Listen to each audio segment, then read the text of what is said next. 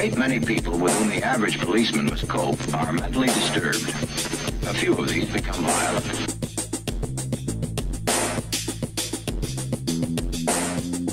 The mentally retarded are seldom violent. The police problem here is to keep the boy from being teased or misled into serious crime.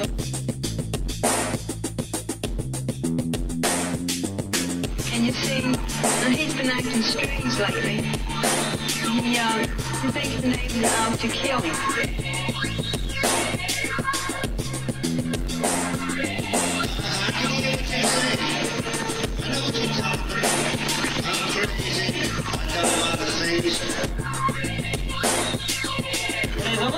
Hello, but maybe with a knife.